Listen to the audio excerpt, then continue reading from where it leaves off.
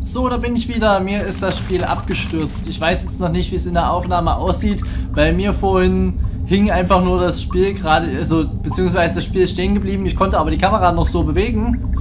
Äh, nur war ich eingefroren, meine Leute waren eingefroren, alle Gegner waren eingefroren. War ein bisschen merkwürdig, aber gut, was soll's.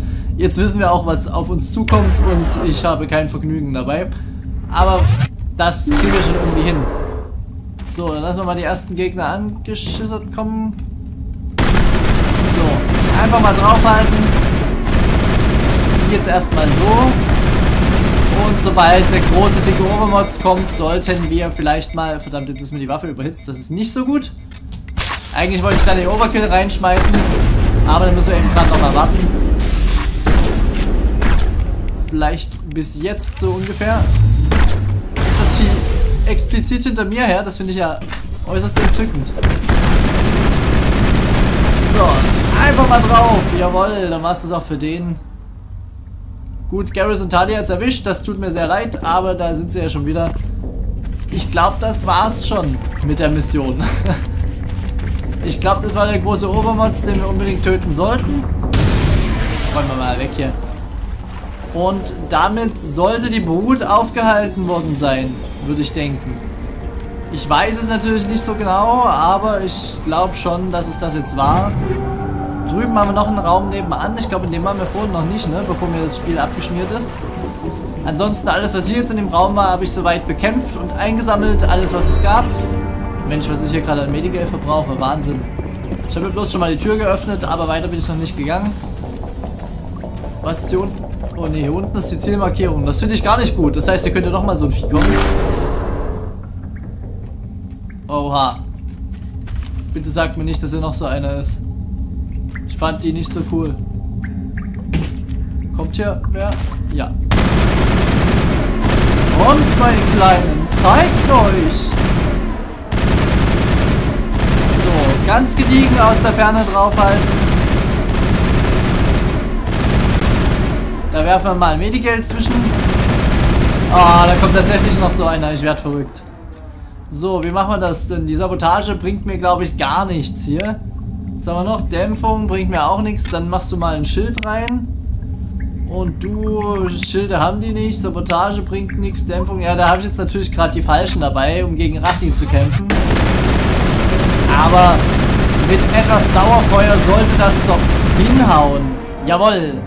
Gemäß einigen Aufzeichnungen der Rachni-Kriege kämpfen die Brutkrieger, die männlichen Rachni, nur wenn eines ihrer Nester angegriffen wird. Sie haben die Rachni auf Nepmos ohne Zweifel eliminiert. Das ist gut zu wissen. Die Frage ist natürlich, hatten die jetzt was mit unserer Rachni-Königin zu tun, die wir da befreit haben? Das wäre nicht so schön. Ist aber durchaus im Bereich des Möglichen, man weiß es nicht so genau. Ich muss unbedingt später mal schauen, ob wir wieder ein bisschen Waffen auswechseln können hier. So, und ich brauche auf jeden Fall mein Medigel. Das können wir vielleicht mal auf der Normandy mit nachladen. Muss ich mal schauen. Soweit aber erstmal von hier. Wir sehen uns dann am Horchposten wieder. Bis gleich. Und da sind wir wieder am Horchposten. Hier steht noch alles wie vorher. Die Leute, die sind immer noch in der Nahbereitschaft, aber es wird keiner mehr kommen. Wir können unsere Waffe auch wegstecken. So, äh. Ich kann fliegen! Ich bin der Messias! Unglaublich. Garrus auch. Garrus ist auch ein Messias. Können wir auch wieder runterkommen? Ähm. Hallo? Runter? Vielleicht? Ich hänge schon wieder fest. Das gibt's doch gar nicht. Jetzt. Ha. Interessant. War eine spannende Erfahrung, mal zu fliegen. Irgendwie. Ich weiß nicht, warum das Spiel, wenn ich es hier auf dem PC spiele, so buggy ist. Keine Ahnung. Naja gut, reden wir mit Durand. Sie sind ein verdammt guter Soldat. Ist das alles? Wir sind okay, Commander. Ist sonst nix? Sie sind ein verdammt guter Soldat. Ja, das weiß ich doch. Okay, der Auftrag ist auch weg aus unserem Questlog. Dann... Gut, war das ziemlich sinnlos hier. Auf in den Weltraum. Und wir sind im Nachbarsystem Acheron und dort haben wir in einem Asteroidengürtel etwas gefunden, nämlich torianische Insignien auf einem kohlehaltigen Asteroiden. Beim Scannen eines Asteroidenfeldes im Acheron-System haben sie Spuren eines Kampfes gefunden. Ein kleines Aufklärungs- und Bergungsteam unter der Leitung von Navigator Presley konnte feststellen, dass viele der Schiffe die Insignien der Epirus-Kolonie tragen. Wunderbar.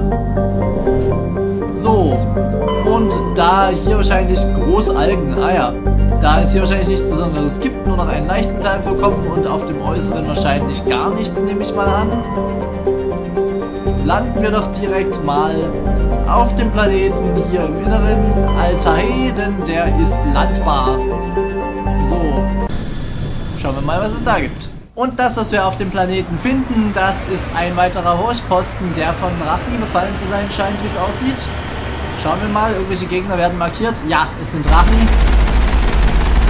Die scheinen sich hier im ganzen Cluster breit gemacht zu haben. Gut, ist ja auch nicht weiter ungewöhnlich. Ich glaube aber ehrlich gesagt, das sind nicht...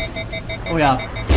Das sind nicht äh, die Nachkommen unserer neuen Königin, sondern ich glaube bald, das wird wohl ein altes Schlachtfeld der Rachni-Kriege sein hier. Das... Oh, können wir die Dinger wegsprengen? Nee, doch nicht. Ich dachte gerade bloß. Äh, das einfach noch ein paar Überbleibsel hat, die hier sich versteckt haben wahrscheinlich. Denn ich kann mir auch nicht vorstellen, dass die Rachni das wirklich, äh, dass die Rachni wirklich vollkommen ausgelöscht wurden, dass das die äh, Feinde der Rachni irgendwie geschafft haben. Sondern da wird es schon noch das ein oder andere Exemplar geben, dieser Art von früher. Und die sind dann eben einfach noch hier übergeblieben. Denke ich mal so zumindest. So, zwei zum Preis von einem. Und den letzten holen wir uns so. So, da haben wir zwei Sachen hier. Ich gucke erstmal schnell hier drüben nach bei dem Fragezeichen, was das ist. Denn hier haben wir ja eine Ruine, in die wir reingehen können, wie mir scheint. So, und hier drüben haben wir... Ich glaube, das hier ist... Nein, das ist ja doch nicht der Hochposten. Okay, steigen wir mal aus. Wir schauen. Eine Asari-Kapsel. Das klingt, als ob wir gleich ein Artefakt von der Matriarchin kriegen. Genau, Matriarchin-Schriften gefunden. Im Laderaum dieses abgestürzten Satelliten haben sie eine der Schriften der Matriarchin Lilinaga gefunden. Ob dieses Fundstück vor oder nach dem Absturz im Laderaum platziert wurde, lässt sich nicht feststellen. In Ordnung, damit können wir dann mal in die Ruine fix reinschauen. Und dann haben wir auch das Styx Theta Cluster schon wieder abgearbeitet. Mehr ist es nicht. Es sind zwei Systeme. Auf dem einen waren wir gerade mit dem Hochposten, wo wir die Rachni fertig machen mussten. Und nun sind wir hier bei dem anderen, der ja auch als Hochposten dekliniert ist, äh, deklariert, Entschuldigung, nicht dekliniert, was quatsch ich denn? Ähm, was es hier drin gibt, können wir allerdings nicht sagen. Tote Menschen, wie mir scheint. Ja, sieht so aus. Ich glaube, hier wird keiner mehr leben. Aber den Waffenspind, ich speichere trotzdem mal lieber bei dem schweren vorher ab. Den nehmen wir noch mit. So, ganz gemütlich gewartet, bis die Lücke da ist. Und dann haben wir sie auch. Ach, den anderen auch. Das ist schön. Dann nehmen wir den natürlich auch noch gleich. Boah, schön noch in die kurze Lücke rein da. Ein Traum. So. Die können wir nicht untersuchen, okay. Schauen wir mal, ob sich hier noch irgendwas ergibt. Nochmal kurz schnell speichern. In Ordnung. Ich dachte es mir fast. Gut, wer hätte irgendwas anderes erwartet? Natürlich gibt es hier. Ah, komm schon. Wie viele von den kleinen Kackviechern kommen denn hier? Okay, die wollen doch gar nicht angreifen, wie mir scheint. Ist mir durchaus recht. Dann machen wir das nämlich so, dass wir einfach aus der Ferne draufhalten. Das passt mir ganz gut. Ich sehe auch niemanden weiter auf dem Radar mehr. Der Widerstand war jetzt doch relativ gering. Oh, ich muss mal kurz pausieren. Bis gleich. So, wieder an Bord. Da hat jemand angerufen. Ich hoffe, die Störsignale sind nur auf meinem Headset gewesen, äh, nur auf meinen Kopfhörern gewesen und nicht in der Aufnahme. Werden wir sehen. Ähm, gut, wir machen dann mal weiter, ne? Schauen wir mal, wo es hingeht hier. Was habe ich denn da für lustige Ab Handabdrücke bei Garrison Talia eigentlich unten in der Leiste? Was sagen die mir? Ich weiß es nicht. In jedem Falle ist dieser Raum leer. Das hätte ich jetzt gar nicht erwartet unbedingt, muss ich mal so zugeben. Was ist das denn? Ich will es gar nicht wissen. Ich glaube, ich zerschieße die Dinger mal einfach prophylaktisch schon mal, denn ich glaube, die wollen hier ein neues Gelege aufbauen, die Arachni. Kann das sein? So, Kryosprengsatz nehmen wir mit. Einfach mal ganz gründlich hier alles zerballern. So muss das sein. Kommt an, zerballert und geht wieder. Gut. Schnell dechiffriert das Ganze. Vielleicht nochmal. Ich habe immer das Gefühl, die Dechiffrierung sagt nicht unbedingt was über den Inhalt aus. Denn ich hatte jetzt auch schon schwere Dechiffrierdinger, die haben so gut wie nichts Besonderes geliefert. Und leichte, in denen waren da richtig gute Sachen drin. So, da hinten ein Terminal zum Öffnen. Dann werden wir dann wahrscheinlich erfahren, was hier drin denn los war. So, da ist auch noch eins. Okay. Aber die schon mal beseitigt. Her damit. Sonst scheint hier auch nichts weiter zu sein. Dann gehen wir ins Terminal und hören uns mal die Geschichte an. Offenbar war vor zwei Tagen ein Versorgungsschiff bei Ihnen. Die Rachni müssen Sie danach angegriffen haben. Erzählen Sie mir mehr über das Versorgungsschiff. Dieser Planet soll unbewohnt sein. Die Rachni kamen doch nicht aus dem Nichts. Augenblick mal. Diese Dinger sind Drohnen, die in unregelmäßigen Intervallen von verschiedenen Depots kommen. So können sie nicht so leicht abgefangen werden. Ich hab's. Es kam von Argos Rot. Wo immer das ist, so sind dort wahrscheinlich weitere Rachni. Gehen wir der Sache auf den Grund. Ja, Commander. Die außer Kontrolle geratenen Rachni auf Alta Hey scheinen das Resultat einer Lieferung aus Argos Rot zu sein. Mit den vom Frachter heruntergeladenen Logs sollten sie in der Lage sein, den Kurs des Schiffes zu einem seinem Ursprungsort zurückzuverfolgen. Stundaufstieg, yay! Ich weiß nicht, warum Tali gerade schon wieder so abgehakt wurde, aber gut, was soll's? Sechs Punkte? Wie ist das denn passiert? Na gut, äh, habe ich nichts gegen, muss ich mal so sagen. Ich möchte hier mehr draufpacken. Aber unser Vorbildlich-Balken, der ist auch langsam am Steigen, das finde ich schön.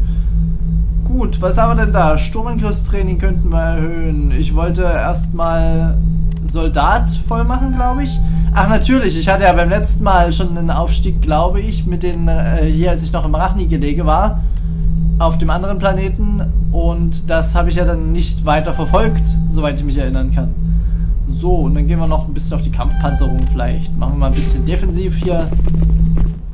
Länger, je länger wir durchhalten, desto besser. Und damit ist das ja auch schon abgearbeitet.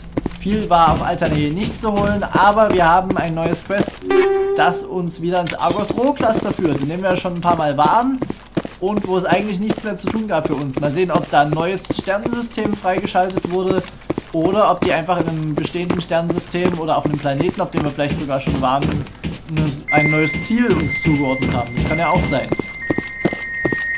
So, ihr dürft dann mal weiter vor euch hin verwesen.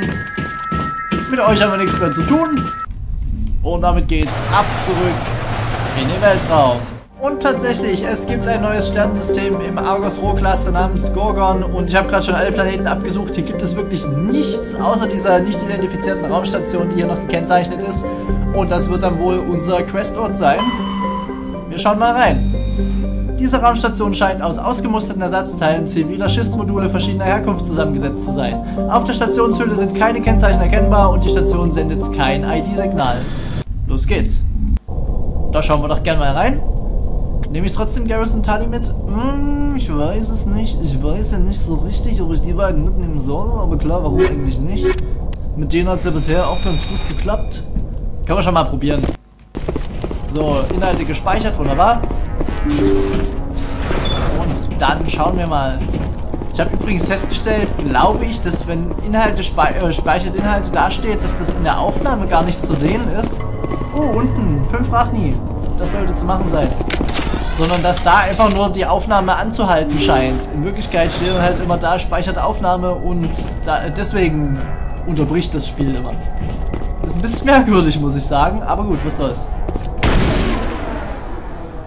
Die kleinen Biester wieder. Ich hasse sie. Ach, warum nur? Möchte der nicht um die Ecke kommen, der da noch hängt? Ähm, hier ist doch noch einer, oder? Ja, natürlich, du kleine Bitch. Hänge ich? Ach, ich, ich hänge an der Wand, ja.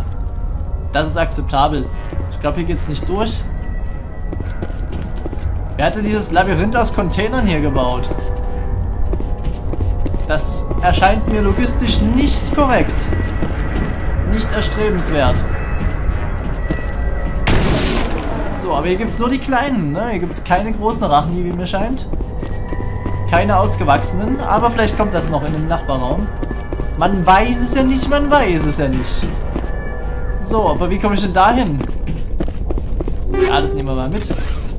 Wie komme ich denn hier zu diesem gekennzeichneten Ort, also was heißt gekennzeichnet, zu diesem Ort, wo noch ein Gegner steht, ist die Frage. So, habe ich das gerade alles übersehen? Der Wahnsinn. Nein, verdammt, das war ärgerlich. Oh, oh, oh, oh, nicht gut, nicht gut. Wieder kurz vor Schluss, sehr schön, gefällt mir. Ja, am Anfang nicht aufgepasst und wenn man den Moment versaut, dann wird es sehr eng. Gut, hier geht es auch nicht durch. Hm. Sehr merkwürdig. Gleich am, An ah, gleich am Anfang nach links, deshalb. Da bin ich nach rechts gezogen. Oh, tatsächlich ein richtiger Arachni-Soldat. Wahnsinn. So, das war's aber auch für den. Sonst ist hier keiner. Fand ich übrigens auch interessant die Info, dass die Rachni Menschen die Brutpflege äh, betreiben, beziehungsweise den Brutschutz. Übrigens speichere ich mal auch wieder zwischendurch. Kann nicht schaden. Oh, das war dumm. Aber bei den Leichten hat man ja immer so viel Zeit, das ist nicht das Problem. Oh, schwere Dechiffrierung. Da sollte ich mal speichern, bevor ich eine schwere... Ähm, ja. Sprengen wir das Ganze auf. Bevor ich eine schwere Dechiffrierung mache, sollte ich nochmal speichern. Ich glaube, ich hatte vorhin gespeichert. Ach, scheiß drauf. Kriegen wir schon hin. Und wenn nicht, was soll's. Ach komm schon, ernsthaft? jetzt bin ich zweimal kurz vor Schluss ausgebremst worden. Das ist mies. Immer auf dem letzten bisschen, ne? Das war gemein. Das war echt gemein. Aber gut, ich habe vorher teilweise schon so unverschämtes Glück gehabt. Da musste das wahrscheinlich auch mal sein, dass ich gleich zweimal auf dem letzten Meter ausgebremst werde dann von den Dingern. So, diesmal kein Problem. Oh, ich erreiche bald das Gegenstandslimit. Na gut, dann müssen wir demnächst mal wieder bei unserem, ja, nehmt's weg, bei unserem lieben Ausstattungshändler vorbeischauen und ein paar Sachen verkaufen gehen. Ist nicht das Problem. Aber wir sehen auch, es gibt ein Limit von Gegenständen, die wir mit uns mitschleppen. Das ist dann jetzt doch bald langsam mal erreicht. Können wir durchaus mal machen. Nachdem wir hier fertig sind auf der Raum... Oh, was mache ich denn hier? Nachdem wir auf der Raumstation hier fertig sind, werde ich das mal tun und ein bisschen Zeug verkaufen. Werde ich aber ohne euch machen, denn so spannend ist das ja dann auch nicht. Auf jeden Fall sollten wir danach gut Geld haben, denn durch die ganzen Mineralvorkommen und Schwermetallvorkommen sammeln wir einiges an Geld ein. Ich habe es jetzt nochmal mitgekriegt, ab dem zweiten Teil ist es dann ein bisschen, oder im zweiten Teil ist es ein bisschen anders, da kann man die Normandy aufwerten mit Mineralien und so, die man bekommt, die man findet. Hier im ersten Teil gibt es dafür einfach nur Geld. Ach, hier hinten ist der Ausgang. Ich habe mich schon langsam zu fragen begonnen, wo es denn hier mal rausgeht. War jetzt doch schon ein bisschen seltsam hier mit dem Wirrwarr, mit dem Labyrinth aus Gängen, wie auch immer man es nennen möchte. Hier in der Ecke ist gar nichts. Ich befürchte, dass gleich, wenn wir wieder rauszugehen versuchen, unglaublich viele Gegner kommen. Kann natürlich auch ein falsches, schlechtes Gefühl sein. Aber ich würde es dem Spiel zutrauen, dass sie jetzt gerade ganz viele Gegner dort rein spawnen. So, jetzt haben wir aber einiges an roten Dingern hier. Oh, das war blöd. Nein, das war blöd. Das war besser. So, bei wie viel sind wir? Okay, wir sollten langsam wirklich aufpassen mit den Gegenständen. Wir sind gleich voll. Das war nicht das Ding. Drei Stück noch. Wird eng. Oh oh. Oh oh. Und da haben wir die Gegenstände erreicht. Äh, die Gegenstandsgrenze. Dann müssen wir mal schauen. Komm, wir machen mal hier auf Universalgel reduzieren. Warum nicht? Können wir mal machen. Bei dem auch. Das ging dann jetzt doch schneller, als ich gedacht hätte. Oh, ich wollte bloß gerade mal drücken, weil ich meinen Cursor gesehen habe. Und nicht, um die Waffe rauszuholen. So, schnell hier rüber, schnell hier vor. Und da haben wir wieder das Problem, ich glaube, die nehme ich mal mit. Kann ich gar nichts mehr mitnehmen? Willst du mich verarschen? Ich hatte doch noch... Ah, jetzt geht alles neben. Okay. Ich möchte nämlich äh, Garrus diese Rüstung anlegen, höchstwahrscheinlich. Denn die wird sicherlich besser sein als das, was er... Vielleicht auch nicht. Gut, das finde ich jetzt erstaunlich. Gut, vielleicht auch nicht. Ähm, auf jeden Fall sollte ich jetzt mal gerade sowas hier zu Universalgel verarbeiten. Den ganzen Kleinkram. Alles, was so unter 5 ist. Moment, geh noch mal rein. Nein, nein, nein, das wollte ich gar nicht. Uh. Hier, Thunder 5, wieder rein. Ich wollte eigentlich hier hin.